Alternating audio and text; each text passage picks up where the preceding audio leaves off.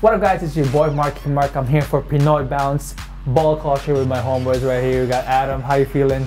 Pretty good, pretty good. All right. We also brought up his boy here. We. How you feeling too? Feel really good. Feeling really Awesome. good. Welcome to Pinoy Bounce Ball Culture segment. Thank you guys for coming. Maybe tell us to the audience out there. Tell us a little bit about yourself and how did you guys meet? Yeah. Sure. Um, actually, it was uh, 2008. I um, started working at the Apple Store, and Adam was already working there, um, and that's essentially how we met. Uh, so yeah, since 2008, we've been friends. Awesome. Yeah. Awesome. But to you guys, like, since this is a Pinoy Bounce, is a ball basketball Yeah, show, yeah. tell us how basketball kind of came to your lives. Yeah. I, hmm. yeah, basketball's kind of like just been, I think, ingrained in my DNA from like birth. I, want to say. Yeah. I was, I was kind of playing a lot of ball uh, as a kid, like being on the like I think grade six onwards was Yeah. like a was a huge era for me for playing ball, uh, being on the basketball team, and then like there's the era of like I want to say like Sean Kemp and Gary Payton. Oh, those are the Seattle those are- Sonics those are, days, like, yeah. yeah, those were like, kind of like the inspiration to me to continue playing ball. Yeah. Uh, playing through high school, I joined like a few, a few like Filipino leagues, like Mm-hmm. uh, FIBA and, and all that stuff. All right. Uh, yeah, that's kind of like where I was. How about you? ball. How did ball kind of got into you? Um, yeah, for me, uh, like I was a teenager in the 90s, and of course, during the 90s, it was all about the Bulls. Yeah. And the Bulls championship run. Uh, so that was like a huge thing. And I think basketball has always been my favorite sport my whole life.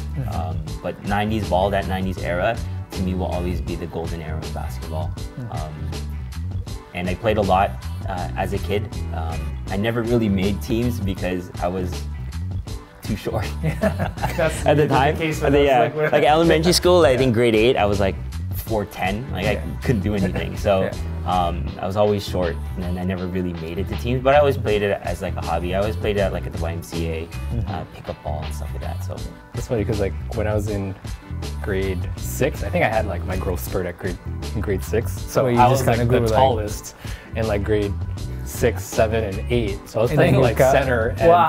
power forward at the time. Yeah. And then high school came, and then like everybody everyone just of, like, got, and like, you're just like, where did I'm mine like, go? oh, I guess I'll play shooting guard now. How did you guys become kind of good friends and kind of, you know, became really close? Uh, yeah, it's kind of a. I think it's a it's a pretty interesting story. So like, um, so again, we met at Apple, uh, and um, I think a bunch of the guys at Apple were like wanted to go out to watch a movie. Um, I don't know if you've heard of Ninja Assassin. It's Oh, like- it's okay. like I- I- yeah, it's- it's one of the- yeah, yeah. yeah. So, uh, like we were all to meet at like Coliseum in Square One, and literally it was just him and I that showed up, Yeah. and no one else. That's insane. And this is before we were like really talking, so it was like we kind of went on a mandate, like That's a bromance right there. that you guys, oh. yeah.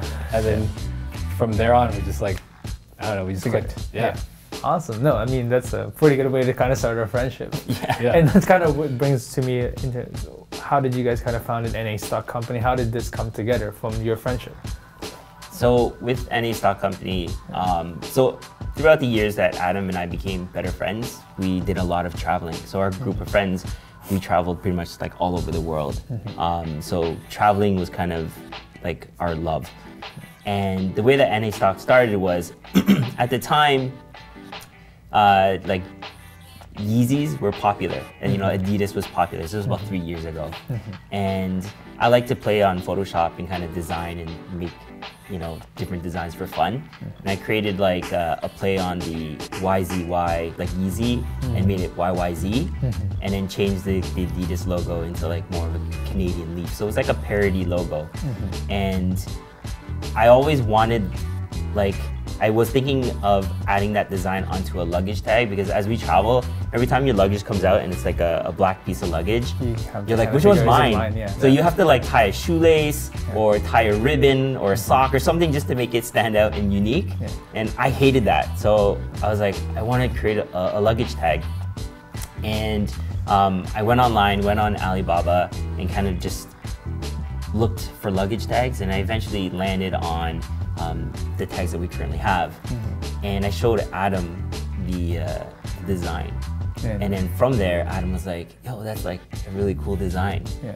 And then he was like, "Do you want to like join forces and sell it online?" Yeah. Um, And- because at the time, uh, like Adam was able to create like a website and everything, so he kind of handled that side of the business. Yeah. Uh, and then that's really how it all started. Yeah. Um, but we started selling it in person first to our friends and family. Yeah. And I think I made about 100 tags, and Yeah. it literally sold out like instantly. Everybody, Wow. like at my work, everybody wanted it, and it sold out really quick.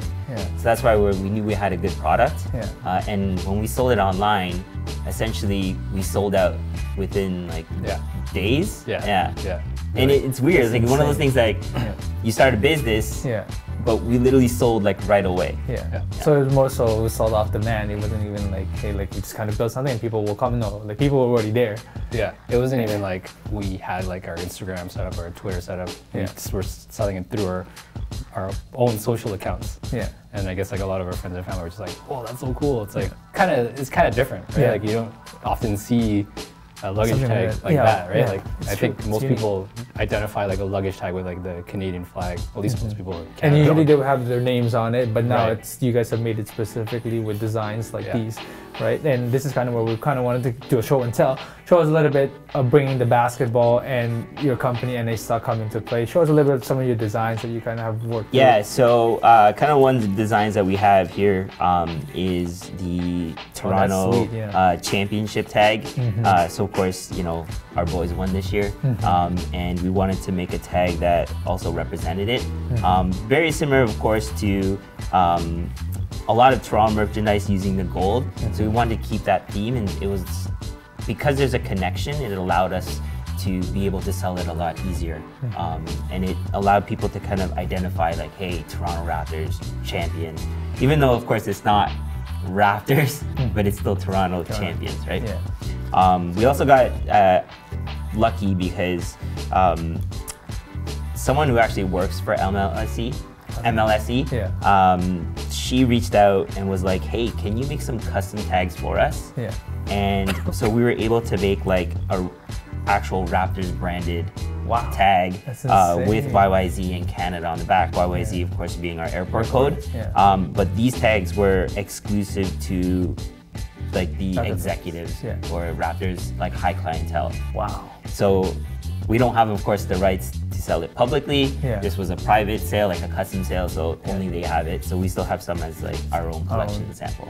Yeah. That's insane. Yeah, so they made made uh, other ones too. So not only yeah, we did uh, for the Raptors. The OV that's the OVO color, with right? The, um, Yeah. With the Toronto Maple Leafs.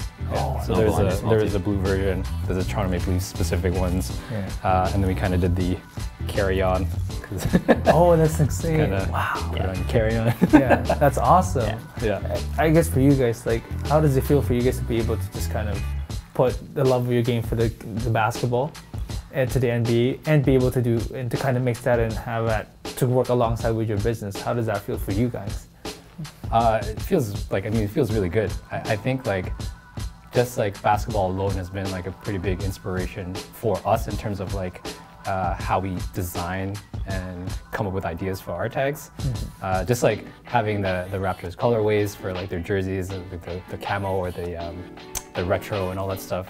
Like we use those and we kind of implement it into our product uh, because it's like kind of you know it's it's inspirational to us. Yeah.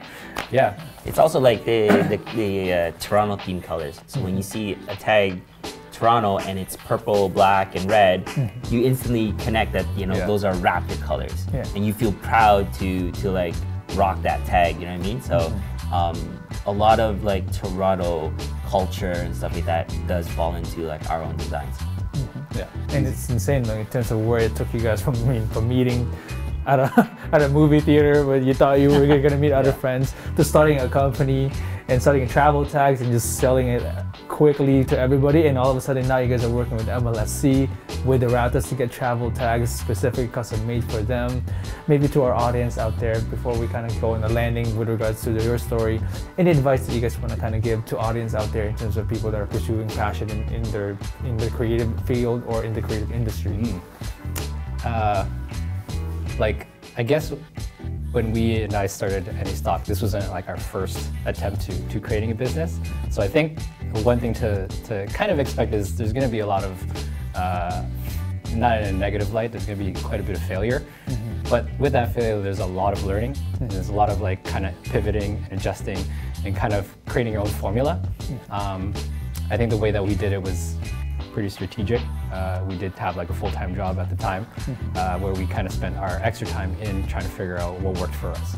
Um, and then eventually kind of combined our passion for travel, streetwear, sneaker design, and then trying to, you know, made into a business. And it kind of eventually just took off. yeah. Wow, that's awesome. I mean, I hope you guys have enjoyed that episode with Adam and we where they can they where can they find you guys? Your camera's right here. Any shout outs before we kind of end the segment? Uh, shout out to my kids, uh, Minato and Arisa. Yeah, shout out to my uh, my my niece Chloe, my sister Carol, and husband Chris, and my fiance Abby. Uh, and you can find us at uh, www.nastockcompany.com. Uh, you'll find a lot of our variations of tags there. We have probably about, I don't know, right now 20 designs up. Uh, find us on uh, Instagram as well too, uh, NA Stock Company. Awesome. I'm definitely going to get some because I'm traveling to the Philippines and I want to represent the Raptors and the Philippines with some of their travel tags. I hope you guys have enjoyed this episode, but stay tuned, guys. We have more for you guys to come. I hope you guys enjoyed that segment. Make sure to check NA Stock Company on their website and also on Instagram at NA Stock Company. They have some amazing travel tags. I have one from the Philippines. They have YYs, every single thing that you can find for your travels, they have it. Anything you guys want to say, Ingrid? Maybe you can have the last words. Uh, be sure to follow us on all social media platforms. So, uh, Instagram, Twitter, and on YouTube. Yeah. James, anything last words you want to say out there? Um, check PinoyCrossover.ca for articles and other things. And if you want to write articles, just message us in Instagram or Facebook. All right, Avish, last words where they can find you. Anything else you want to shout out to our fans? Camera's right there. Yeah, True Sports TV, guys. It's been a pleasure. It's always fun to, to come and talk basketball, especially the Raptors. So thank you for having me. Awesome. Other than that, stay ballin'.